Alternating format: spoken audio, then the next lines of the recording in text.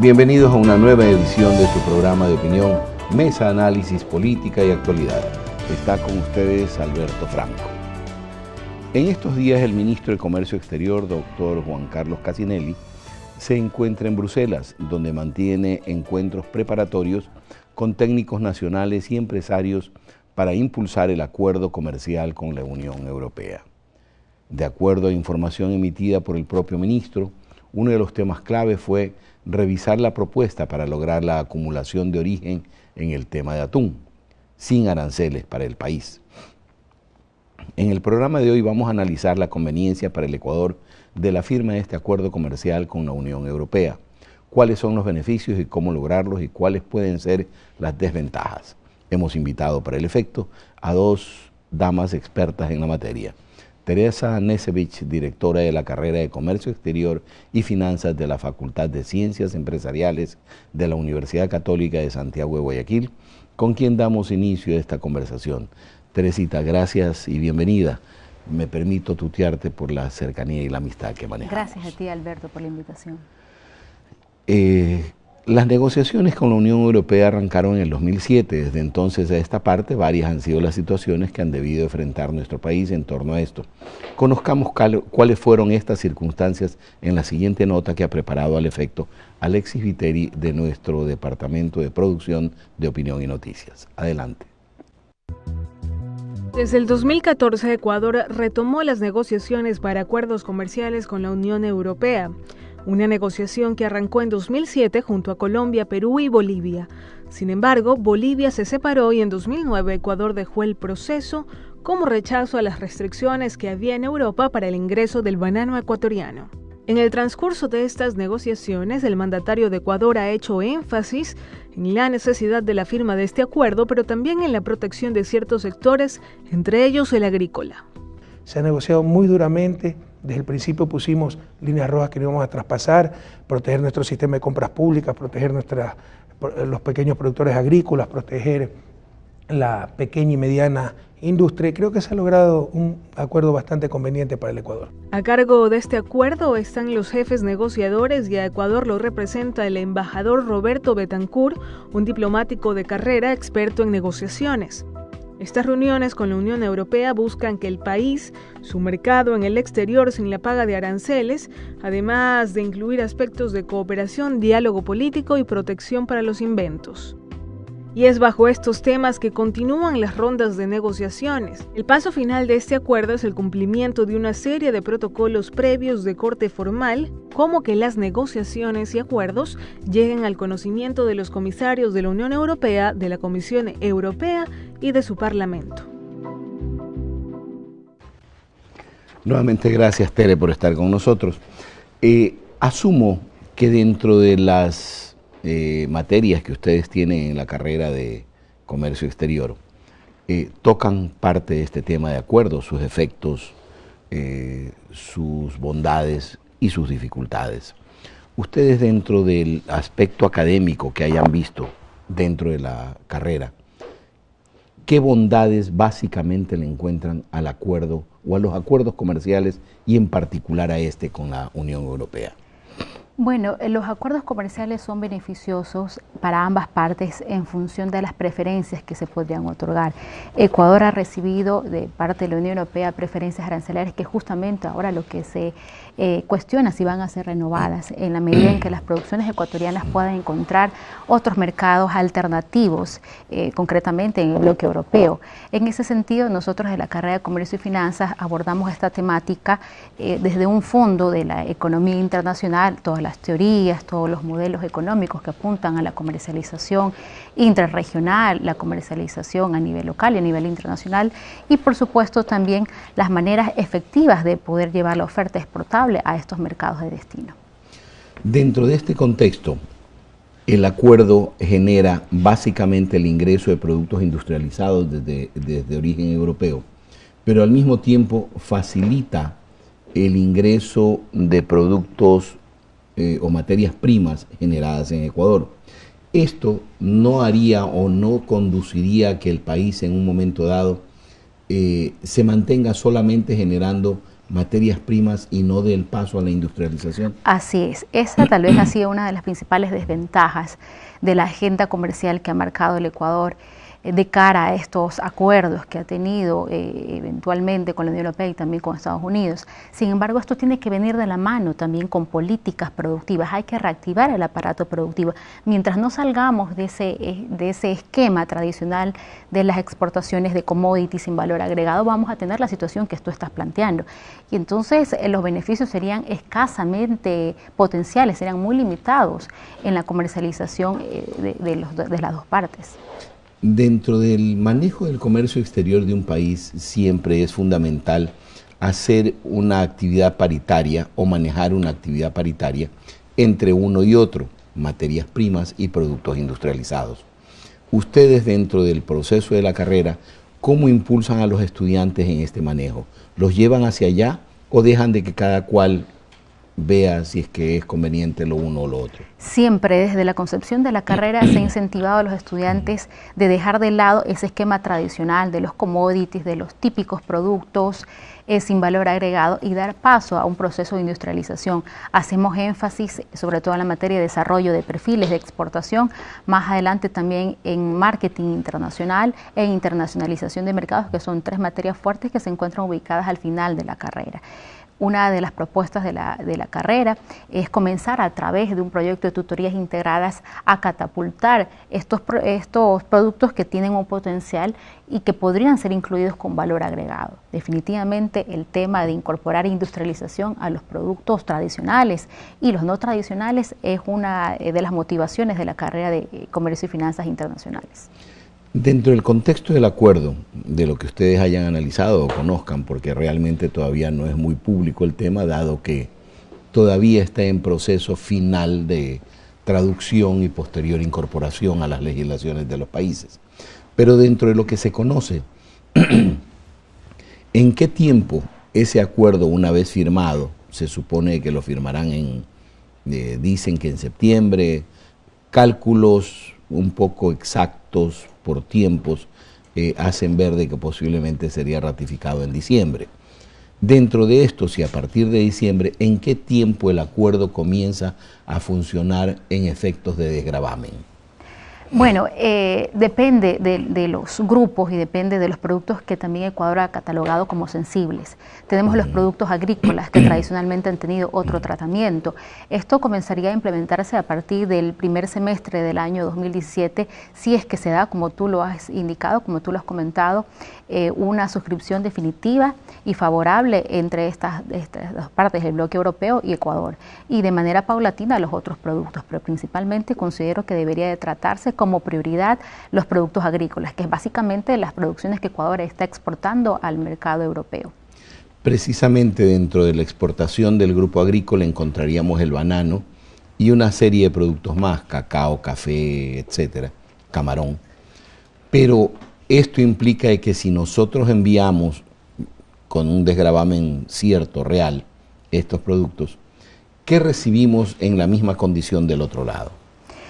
Bueno, eh, existe bastante inquietud acerca de este tema, ¿no? Eh, fíjate que uno de los principales, eh, una de las principales trabas que se encuentran a la firma de este acuerdo comercial es el tema de los cupos de los, de los automóviles europeos. Se ha fijado un cupo de 280 millones de dólares para el ingreso de carros europeos dentro de las condiciones de este acuerdo comercial. Sin embargo, yo considero que eh, existe un mercado para los productos ecuatorianos, más allá de que los productos industrializados que provendrían del bloque europeo también lleguen de manera efectiva al Ecuador. Existe un mercado, tanto para las producciones ecuatorianas, ya te digo, con el valor agregado, tanto también como para las importaciones europeas. Siempre se considera que en comercio el producto tiene que ir, eh, tiene que generarse o producirse o hacerse con miras a un mercado mucho más amplio, mucho más vasto.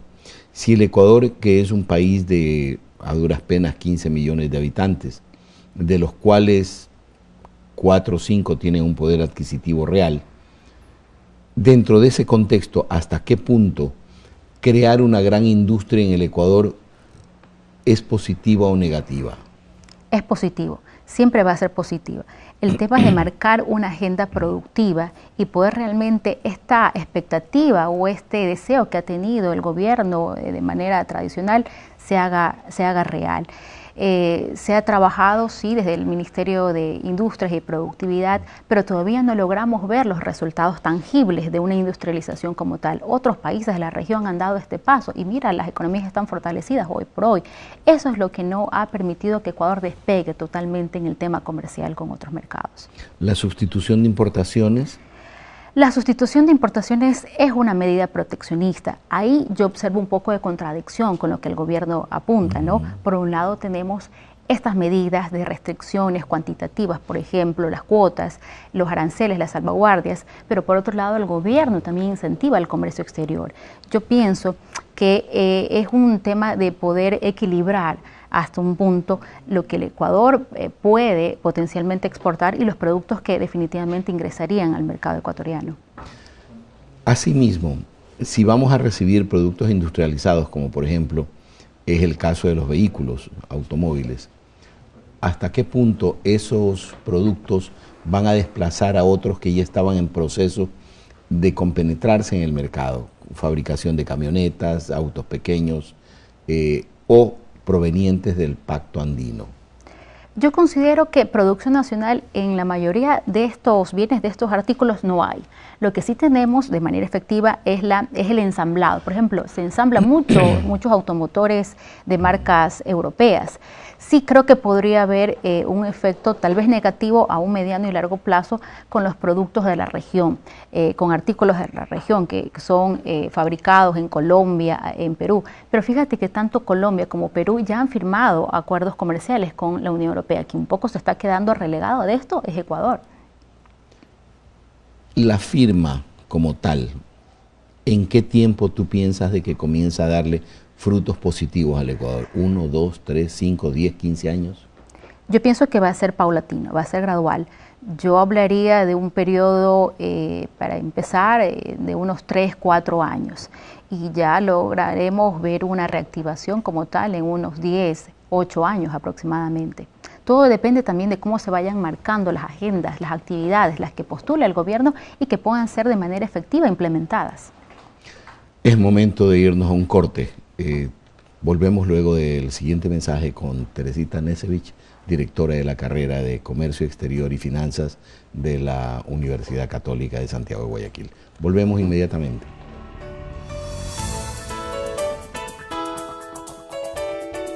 El Comité de Comercio Exterior COMEX decidió diferir un año el cronograma de eliminación de las salvaguardias, documento firmado en abril de 2016.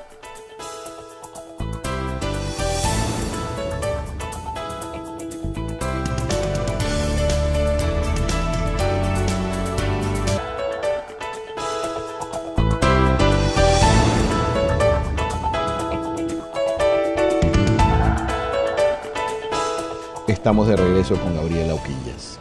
Gabriela, entonces, poniéndonos positivos, pensando que sí se firme el convenio, ¿en qué tiempo comienzan a cumplirse los plazos?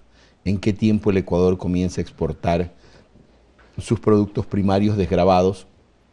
¿Y en qué tiempo comienzan a entrar productos industrializados desde la Comunidad Europea con bajas de aranceles o libres de aranceles?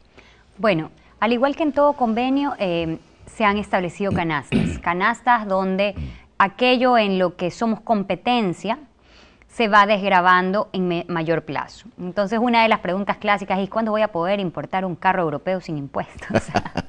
Esa es una, una pregunta siempre, siempre presente. Esa era mi siguiente pregunta. Pero, por ejemplo, en el caso de vehículos, que primero son un bien de alto nivel impositivo en el Ecuador y segundo, eh, se podría decir que tenemos algo de producción nacional gracias a nuestras ensambladoras. Se ha establecido un periodo muy largo para que eh, entren en vigencia. Me parece que son siete años para que los vehículos, eh, después de firmado y, aprobado el acuerdo, exacto, y con ciertas particularidades de progresividad. Y así veremos, en cambio, que seguramente tendremos productos que aquí no se, no se fabrican, que son de alta demanda y que son de buena producción en Europa, que están en los primeros productos a desgrabarse con la canasta alimenticios en, eh, procesados? Bueno, están muy diferenciados, lo han trabajado por partidas. Te mentiría si te digo que me sé cada una de las subpartidas. Bueno. pero, pero en la práctica real hay una buena parte de producción eh, interesante de Europa que vendría a nuestro mercado libre del pago de impuestos, pero lo más interesante son nuestros productos que estarían en Europa libre de impuestos. Entonces, entre ellos encontramos, y yo vuelvo al, al, ejemplo del atún, que es de nuestras grandes producciones, el atún entraría libre de impuestos inmediatamente gracias al convenio. Entonces, eso es una ventaja muy grande. Flores. flores, cacao. Tenemos nuestros principales productos que no son productos de ellos. Ventajosamente no competimos eh, en ese tipo de productos y estaríamos con un acceso libre. Eso es a lo que apuntamos y a lo que necesitamos. Y de la mano nuestro, nuestro mercado se, se verá favorecido, lógicamente, por todos aquellos productos de la Unión Europea que eh, se podrían importar ya libre de impuestos. Y recordemos que al día de hoy la carga impositiva de, la, de los bienes es tan alta que la opción de cualquier producto libre de impuestos es altamente interesante. Por ejemplo, la importación de agroindustria, hablemos de enlatados de comida de algún tipo, ¿en cuánto está grabado en este momento? Bueno, ¿te tienes presente? Sí, lleguemos a, hay, hay ciertas conservas eh, que, pueden llegar a estar en el 40% de salvaguardia, porque se consideran suntuarias, eh, que pagan entre 15 y 20% de arancel, que tienen el 0.5 de FODINFA y al valor sumado a todo esto le calculo el IVA. Entonces, por ah, suerte no tienen ICE. Por suerte todavía. pero, pero alguien a mí me decía, es que aquí todo es muy caro, eh, me están robando. Y decía, bueno, hagamos un cálculo.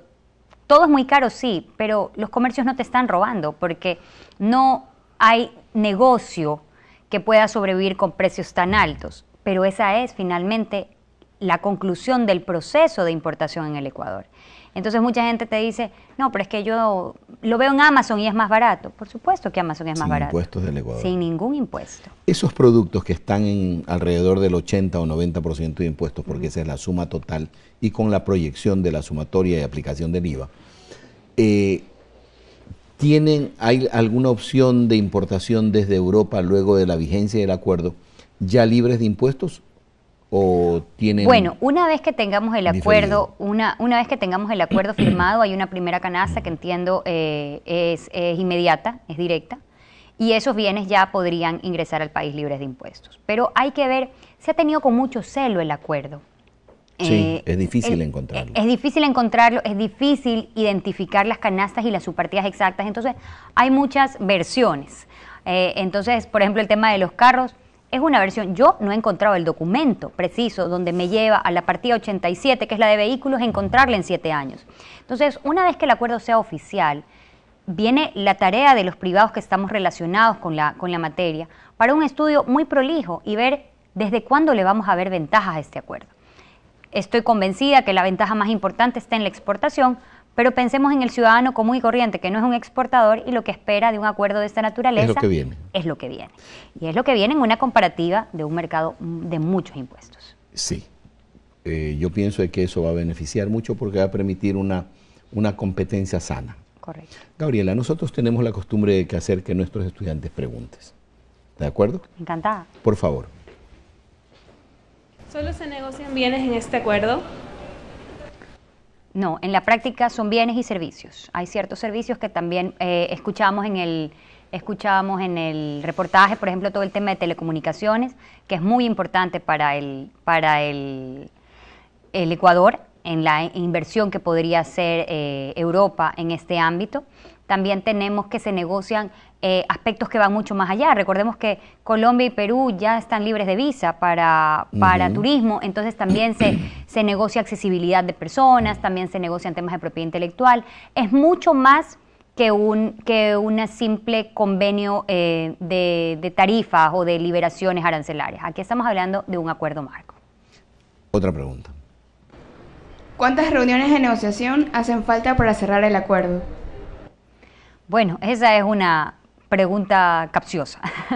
no tenemos una respuesta.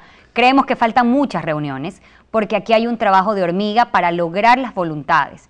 Reuniones formales, entiendo que lo que bastaría es una en la que ya el acuerdo distribuido sea, em, sea analizado y aprobado por las partes. Pero para llegar a esa aprobación falta un camino muy largo de convencimiento y de, de inteligenciación a todas las partes de que este acuerdo es beneficioso tanto para Europa como para el Ecuador. Internamente de nuestro, de nuestro gobierno tampoco conozco cuántas reuniones se necesitan porque sabemos que hay enemigos internos también al acuerdo. Esos son los peores.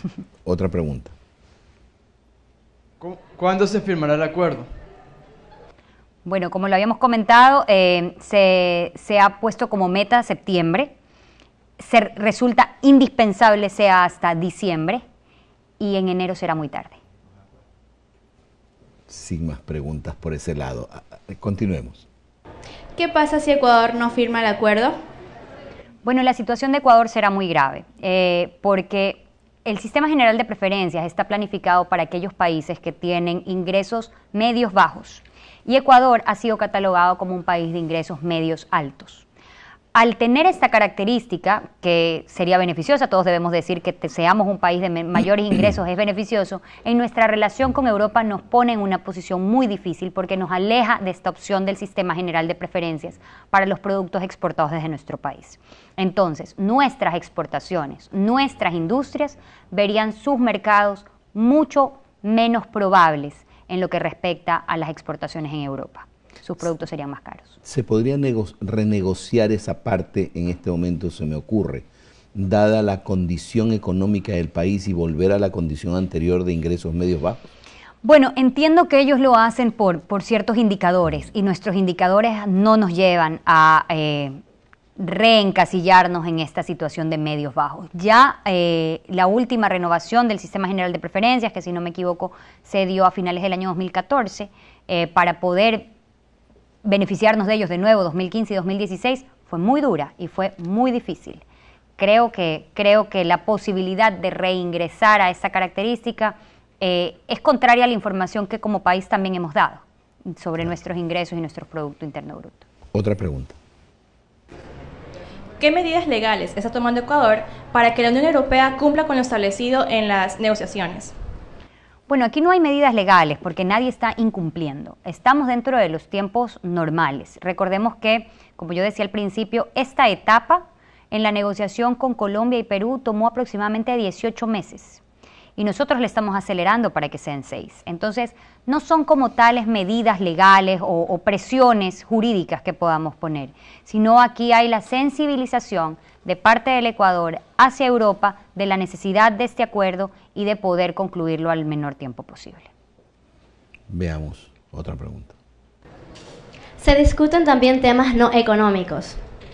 Sí, correcto. Se discuten temas de propiedad intelectual, se discuten temas de migración, se discuten eh, temas de políticas públicas, múltiples temas, porque este es un acuerdo bastante general que lo que busca es integrarnos de mejor manera con un bloque comercial. Entonces, eh, si bien la parte económica tal vez es la más importante, no debemos dejar de lado las otras que eh, nos traerán ventajas y desventajas también y que debemos siempre irlas analizando con la expectativa de que en un balance general el acuerdo sea positivo.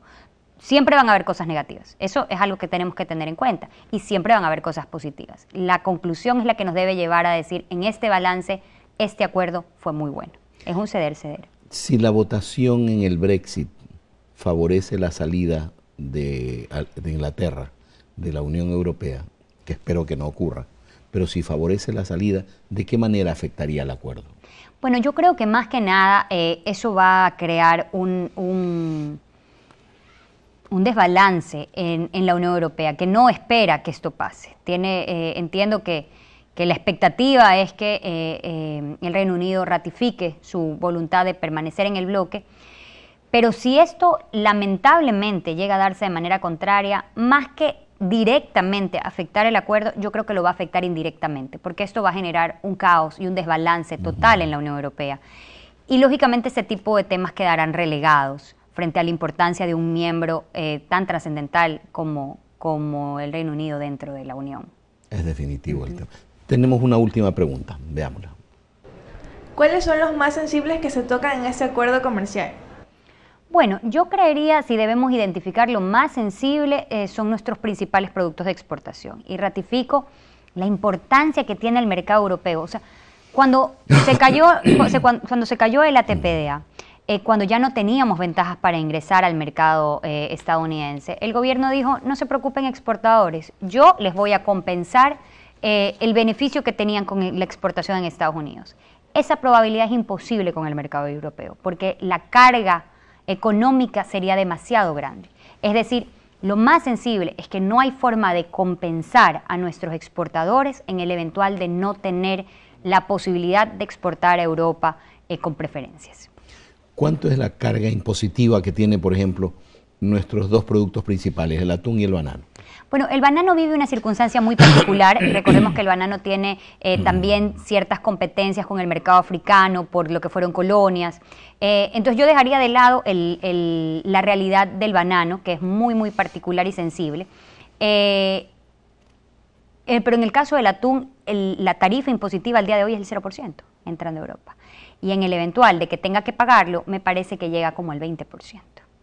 Es fuerte. Es, muy fuerte y nos deja totalmente fuera, de la competencia, porque recordemos que hay más productores de atún y están los productores asiáticos y están competencias que tenemos en la misma América Latina. Entonces, eh, a pesar de que nuestro producto es de muy buena calidad y nos destacamos por la calidad, una variable sumamente importante por el otro lado es el precio. Así sea 5, así sea 10, así sea 20, el porcentaje que le afectaría a, un producto de esa naturaleza es devastador para nuestra industria y nuestro comercio. Definitivamente tenemos que comenzar a copiar sistemas de producción de bajo costo como los asiáticos. Totalmente. Gracias, Gabriela. Ha sido muy gentil por haber estado con nosotros, habernos dado parte de tu tiempo. Un gusto inmenso, siempre. El tiempo se nos ha terminado y les agradecemos a ustedes, amigos televidentes, por habernos acompañado y hacerlo semana a semana. Por mi parte nos encontramos en una próxima emisión de su programa Mesa Análisis, Política y Actualidad. Lo hago no sin antes dejarles un mensaje por la paz. Busquen la paz permanentemente y a través de esa paz lleguen a la felicidad. Hasta otro momento.